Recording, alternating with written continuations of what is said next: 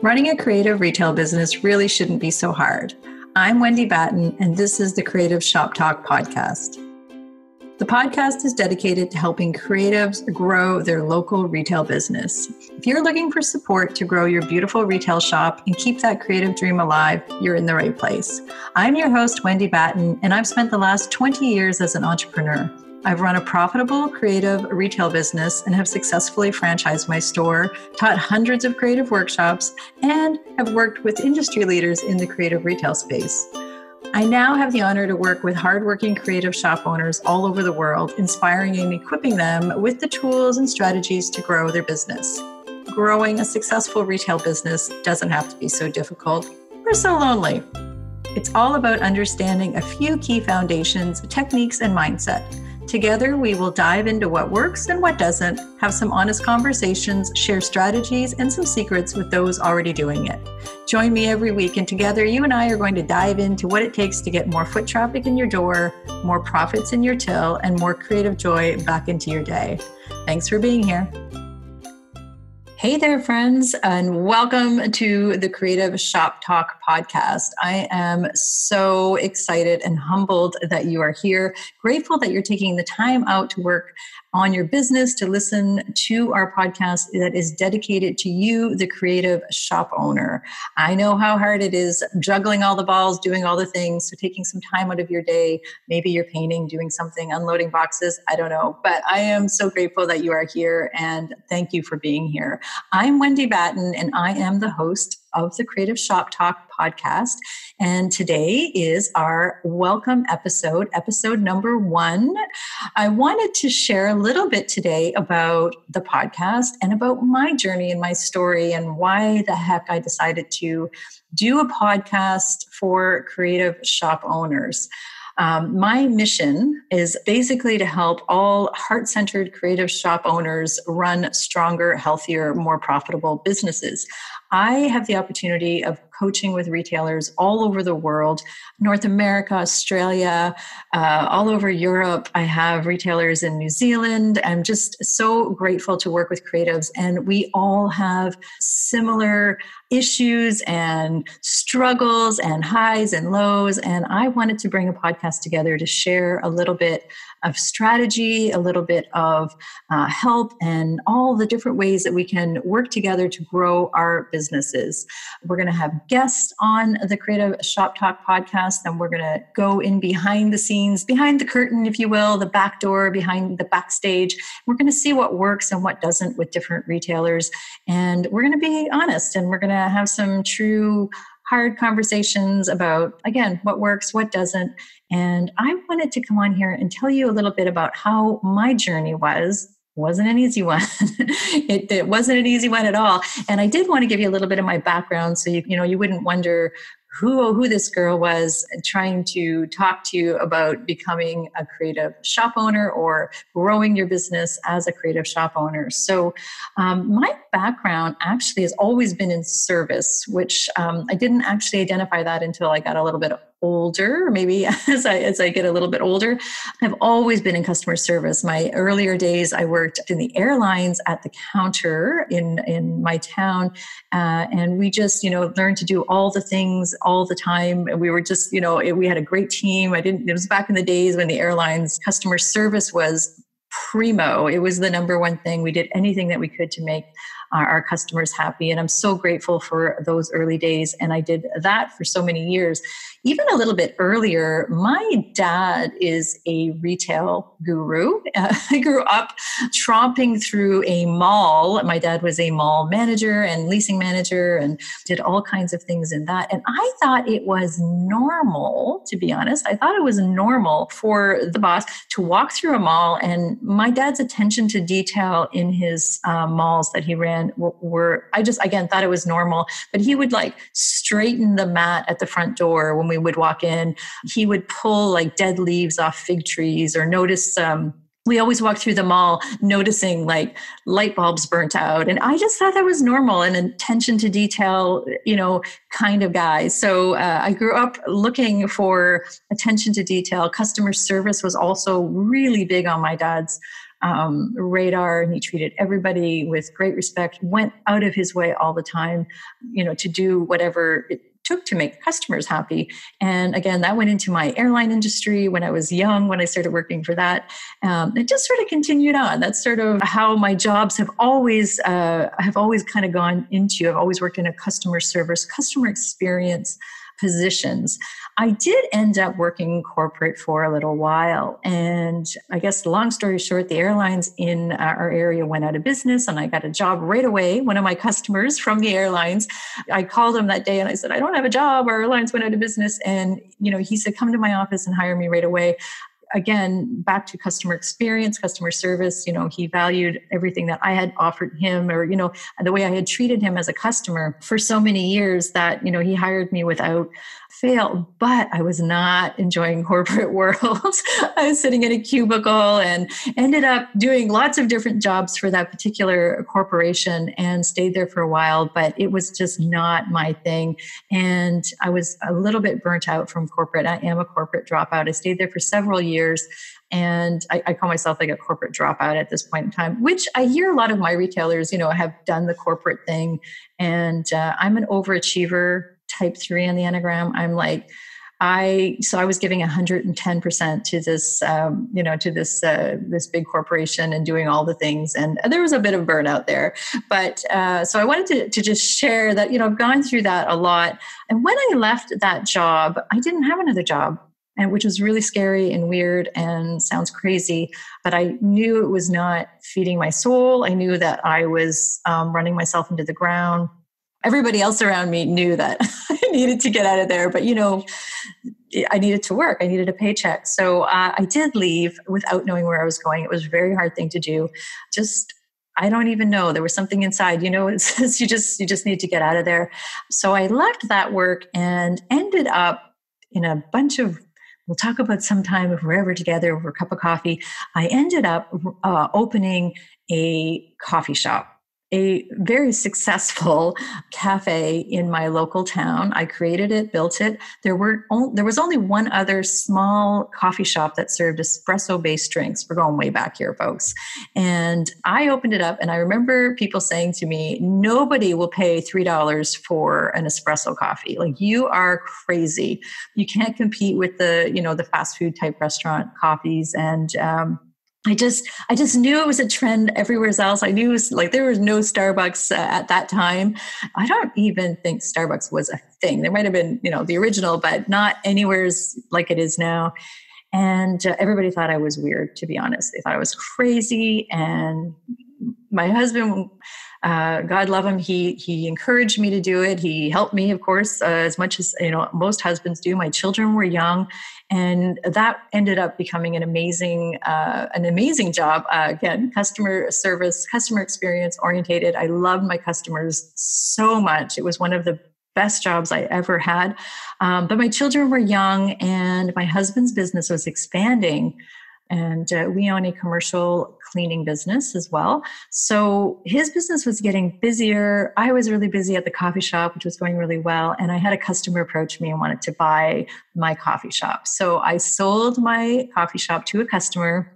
And it broke my heart, to be honest. I, I needed to leave. I needed to be able to help my husband and be home with my children and who were growing. And but I, it, it just the customers were coming in crying with me. So, but that coffee shop, which is called C'est la Vie Cafe, if you're in the Moncton area, you may know it, but I uh, it's still going strong. So I'm super proud of creating that entire business and and where it is even today. But and I share all this because I want you to know that we all have journeys, and and my journey has all these pieces, right? It has all these like different things that kind of build and layer upon each other and help you with growing your you know what you end up being.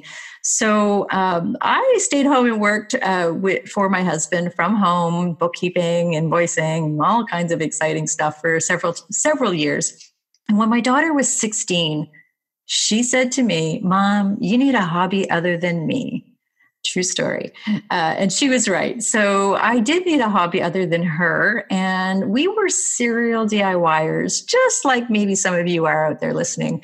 Um, we loved upcycle, recycle. You know, we would you know renovate on a budget we were all you know always just improving our home as we could bit by bit recycled furniture painting a room adding plank walls whatever like just bit by bit you know a little bit by little bit trying to improve our home and uh, and that's sort of you know how i ended up with a blog called Front Porch Mercantile. I decided to start blogging about these painted projects I was doing. And at the time, I was having paint shipped into me, or if a friend was out of town, I would get them to find the nearest store that I was looking for for my my chalk paints and my milk paints and all the paints I was using. And it all seems so crazy now because I know they're everywhere. But at the time, there were no paint retailers in our area at all. Nobody even painted furniture. I was a, another another weirdo on the scale of what's normal. It wasn't. It was wasn't even normal to be painting furniture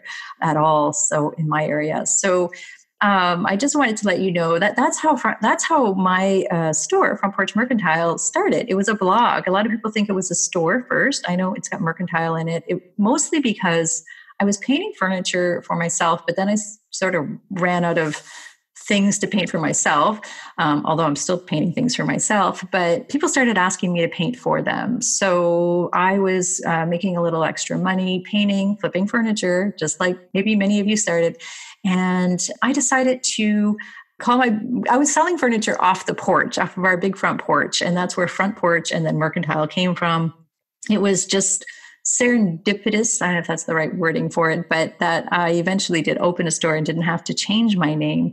But um, I ended up um, this little blog. We only had like a couple of blog posts. I didn't know what I was doing, to be honest, no idea. And uh, I ended up attending a blogging conference.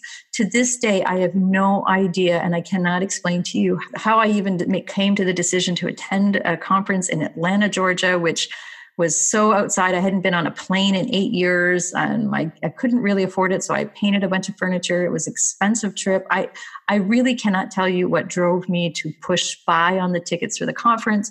I can tell you that at the kitchen table when I told my husband I was going to a blogging conference, they all just froze. Nobody was like upset. They were just shocked. It was just really interesting. So I went to a conference and I met my people. I found so many people that were doing what I was doing. I, I cry now thinking about it. I found my tribe. I, I say that over and over again. I found my tribe. And the fat story thin is that those people encouraged me to come back here and sell the paint here. Like, you know, they were like, you know, open a store, sell the paint, get a studio, make this, you know, more legit. And that's what we did. And I opened a retail business in the worst location. It was a tiny little, you know, next to my friend's yoga studio in her backyard in the woods out of town. It was just hilarious now that, you know, you look back and location, location, location, what, you know, many of you think that you need. You don't if you build the right, reputation. Um, nobody had heard of my paints. No one had been painting furniture. Again, I was back to being that weirdo.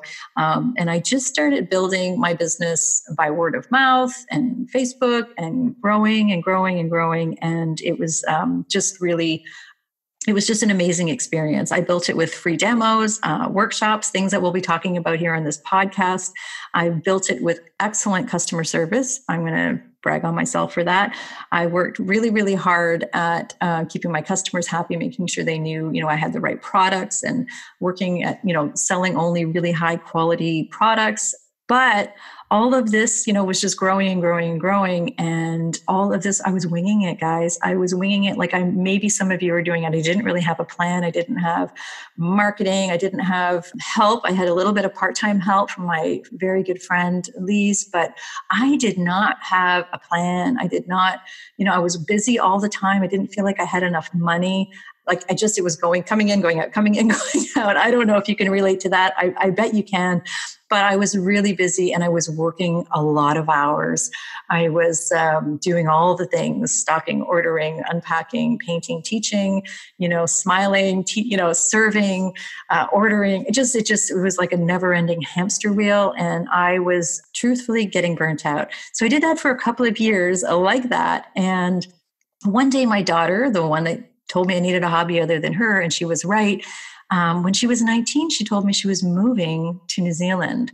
That's a long ways from where I live. It shocked me. I had three weeks to spend with her.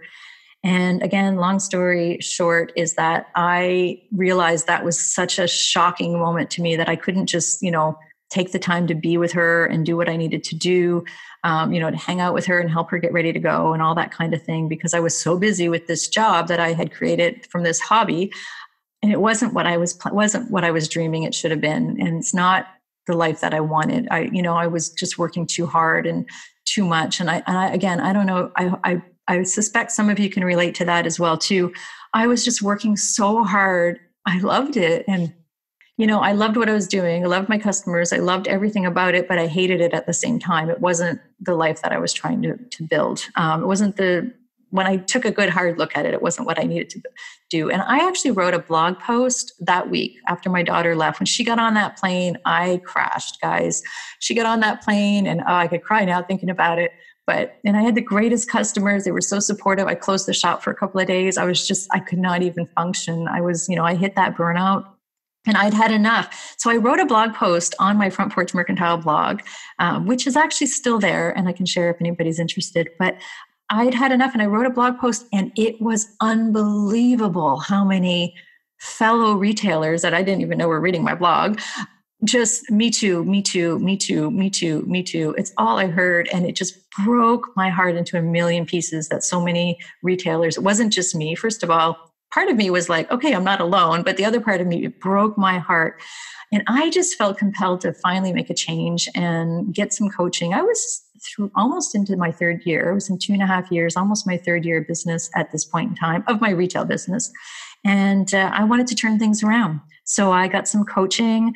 It was hard to find, but I started putting all these pieces together. I started asking business mentors that I knew in completely different industries. I, you know, just started asking them, you know, can you tell me what I should do and tell me who I should talk to and show me. So I ended up getting several coaches, which you know, investing in that was really scary and hard for me. I didn't have the money, extra money, because I was working so hard and all the money was coming in and going out. And I don't know where it was going, to be honest. I have no idea. I do now. But at the time, I had no idea where my money was going. I was making money, like the store was busy. But anyway, I did get the money together. I did hire some coaches. I started doing some hard things that I wasn't doing before that they all suggested I do and promotional calendars and getting into my numbers and dialing things in. And I changed everything around within within months. Things just started changing around. Um, things started getting not easier, but they were like I was making more money and I doubled my sales and I just everything just started clicking. And I thought, oh, I've got some aha moments here now to share. But I was um, making such a change that people noticed. I was working at the time for other paint lines. I worked for a lot of industry leaders. I still do at this time. I work for, you know, as a consultant for many people retailers started asking me and you know i was being you know i, I was helping retailers i was uh, sharing what i could with friends i mean we're all friends right you, ha- you have a group of retailer friends I know you hang out with, you know, and you just, we were all helping each other. And it slowly became, I took a few courses and it slowly became this something like, I'm going to have to charge for my time. So it just slowly started becoming a retail coach. And, and I don't know, I, I would love to be able to tell you that I have a big giant degree in coaching retail. I don't, it's all experience based you know i've been now teaching retailers uh, it's just been an incredible mission and passion of mine to help retailers and that got kind of crazy at that at one point trying to run the store and i hired a lot of staff and i was you know running the store and coaching and working for a lot of the uh, paint lines and i loved everything about it guys. I loved like i loved that i didn't want to give up anything but as i say and as i coach with my creative shop owners that i work with we have to put the balls down sometimes. We have to put something down. We can't do everything well. So I decided, or it's a very long story and I'll share sometime, of course, on the podcast here. But we ended up franchising my store. It needed to move. It needed it needed a lot more attention than I was able to give it um, because I my I was spread so thin. It was still doing well, very well, but not. It could have done better. And uh, we franchised our store and. Um, uh, it was a wonderful experience. Um, the store was moved and reopened and just uh, did really well. Customers were happy, they had attention. And my husband and I sold everything we owned, ran away from home, and now I coach retailers almost exclusively full time. I still have a small studio I still teach paint workshops on occasion. I still um, have a, a, small hand in a booth space right now, uh, is selling paints, and I'm still in the trenches a little bit. But my primary job now is working with creative shop owners, which I have been doing almost exclusively now for um, several years. And again, as I said, I work with retailers all over the world. It is such a pleasure, such a joy to watch retailers you know grow and thrive i, I work with uh, group coaching we have some group coaching uh, called the paint printers inner circle it's my monthly group coaching we have um, i have a course that i've created from me to them, like retailer to retailer, just exactly what they need. And I work one on one a lot with uh, creative shop owners. Um, and, it's just such a joy. And again, retreats, and we do all kinds of other live events and whatnot. But um, it has been such a, it's a, it's really my creative passion. It's my mission now. Um, to be to to help creative shop owners. It comes from my heart and i just absolutely love it. So i get it. I know what you're going through. I get it. Um, all the balls in the air. I know that you know it's just um, it's just hard to do all the things. And i understand taking your passion from your hobby to you know your passion and your hobby turning it into a profitable business can be so hard. Um, so what you can expect here on creative shop talk um, we're going to dive in. We're going to see what works like truly what works and what doesn't. We're going to talk about you know talk to people. We're going to have guests coming in um, and see behind the curtains again what you know we're going to get some real talk. We're going to learn and see what it takes to build a profitable retail business. It can totally be done. There's lots of people doing it. Um, you're not alone. There's all kinds of us um, out there doing the things that you know to help make retailers thrive and you can do it as well too. We're going to have some really honest conversations though. It's not going to be fluff. Anyway, I wanted to introduce myself. I wanted to tell you my story of how I went from an overwhelmed, crazy, creative person you know to uh, trying to put all the pieces together of this crazy retail world for creatives because we're a different breed right? We're not just selling widgets. We're you know we're heart centered we love what we do. We love our customers. We love our products. We had this vision when we designed and dreamed about our business and being in the trenches though can be a little bit uh, uh a little bit shocking at times, right? So I get it. I know it's overwhelming. I know you, you know you need somebody to help put the pieces together, and I hope I can help you do that by sharing uh, my experience, by sharing um, the experience I'm hearing from all of my fellow retailers and uh, that I get to work with again from all over the world. And we'll have some great guests coming in as well to help us with all the little nitty gritty things and share their experiences as well too. So thank you so much for joining me today uh, here on the Creative Shop Talk podcast. I am so uh, honored that you're here. I'm so excited to be uh, on this journey with you, and I'm so grateful that you took the time today to listen all the way to the end. Uh, I promise they won't all be long podcasts, but I really did want to share my story so you'd understand where I'm coming from and, and how grateful I am to have you listening. And I cannot wait to see where this journey takes um, all of you, my uh, fellow retailers as well too. So thank you so much for being here. You can uh, find more information at uh, wendybatten.com. I would love, love, love if you would subscribe to the podcast and uh, leave us a review. We're hoping to have some really great guests and we're hoping to be able to serve you with what you need. So we'll see you on the next episode.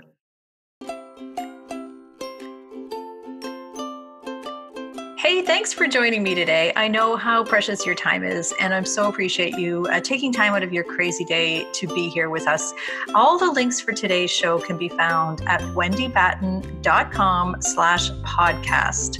We'd also like to invite you to come over and continue the conversation over on my free Facebook group. It's called Rockstar Creatives. I'm going to be popping in there live every week to continue the conversation, talk a little bit about what we spoke about today. And I'd love for you to join us over there. Rockstar Creatives on Facebook. I'd also love to ask if it's not too much trouble if you could leave me a review and let me know what you think of the podcast. If you're loving the show, be sure that you're subscribing to the podcast so you don't miss an episode. I'd hate for you to miss one. It's been such a pleasure to be here with you today. I'll see you next week here on the Creative Shop Talk podcast.